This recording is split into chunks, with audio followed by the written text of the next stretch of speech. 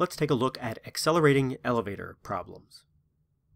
So accelerating elevator problems are pretty much what they sound like. We're going to have an elevator, and it's probably going to accelerate at some point. Let's put a person inside the elevator. And you've probably been in an elevator as it moves up or down, and you've probably experienced that when the elevator moves in a certain way, you feel heavier. And when the elevator moves in a certain way that's different, you might feel lighter.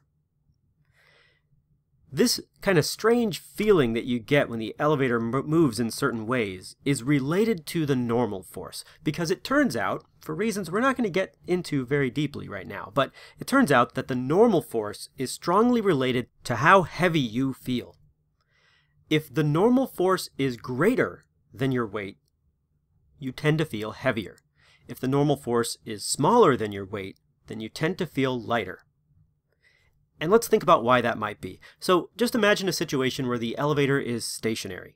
So it's just like you're standing on a flat surface and nothing exciting is happening. You're just standing there. And this is kind of our baseline. This is our normal.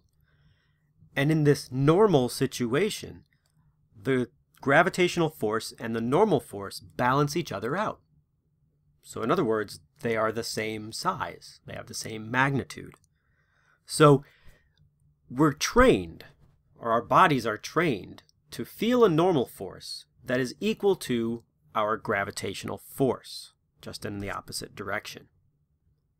When that normal force changes, that's when we start to feel heavier or lighter. So let's take an example where the elevator accelerates upward.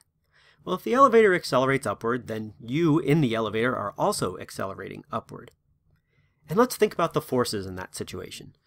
If you're accelerating upward, then you must have a net force on you that's upward. That has to be true because of Newton's second law. F net equals ma. So if the acceleration is upward, there must also be a net force upward on the person. And in order for there to be a net force upward on the person, let's see, well, the normal force then has to be greater than the gravitational force. Okay. If the normal force is greater than the gravitational force, I said that that is what makes you feel heavier. A greater normal force on you is what makes you feel heavier. So, if the elevator accelerates upward, the normal force is greater, and you feel heavier than you're used to feeling because the normal force on you is bigger than you're used to. Imagine that the elevator accelerates downward now. If the elevator accelerates downward, then that means the normal force must now be smaller than the gravitational force because of Newton's second law, right? If you're accelerating downward, the net force on you must be downward, and so the gravitational force has to be bigger than the normal force. Now, the gravitational force is not changing. The gravitational force in all of these situations is the same, because it's only determined by your mass. But the normal force is what changes. So if, if the elevator accelerates downward, the normal force is smaller than it would be if you were just standing on stationary ground. And so, you feel lighter. Okay, let's take a look at an example. Let's say that there is an elevator that's accelerating downward at 2 meters per second squared. And there's a person in the elevator with a mass of 60 kilograms. And I want to know what the normal force is on that person. Well, okay, we're trying to relate things like forces and accelerations, so that's a Newton second law type problem. So F net equals ma.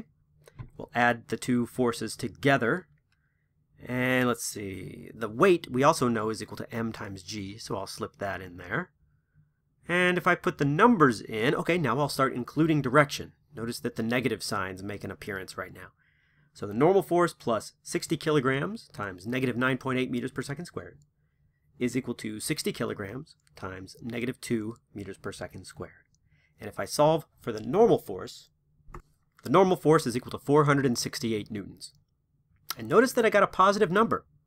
So that's 468 newtons upward. The normal force is upward.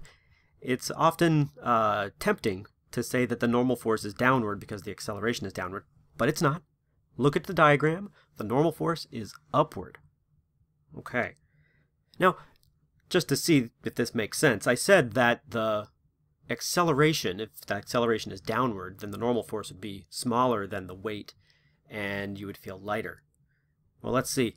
Let's see what the weight would be in this situation. Well, it would be equal to m times g. So the gravitational force, or the weight, would be 588 newtons downward. Compare that to the normal force. The normal force is smaller in magnitude, and that is why you feel lighter.